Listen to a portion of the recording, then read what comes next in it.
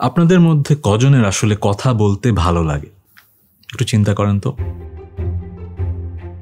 Communication আসলে কি?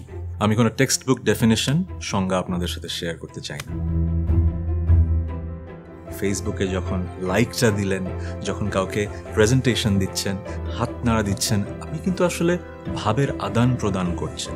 আপনি কমিউনিকেট করছেন। কথা বলতে কিন্তু অনেকেরই ভালো লাগে না। হতে পারি, আমরা ইন্ট্রোভার্ট আমরা সাই আমরা ভয় পাই, আমরা কি বলতে কি বলে ফেলি, হাসির পাত্র হই কিনা। ক্লাসরুমে যখন টিচার বলে যে, এই তুমি বলো তো, তখন হাত পা কেঁপে ওঠে। এটা কিন্তু কম বেশি সবার হয়েছে।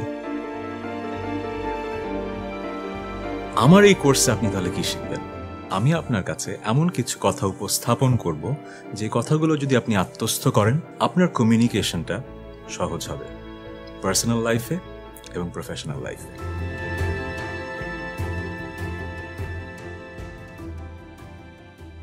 আপনি আপনি কি রেডি হ্যাঁ ওই সেকেন্ড ক্যামেরাতে রেডি হ্যাঁ হ্যাঁ রেডি এক সেকেন্ড কিন্তু আমি কি আসলে রেডি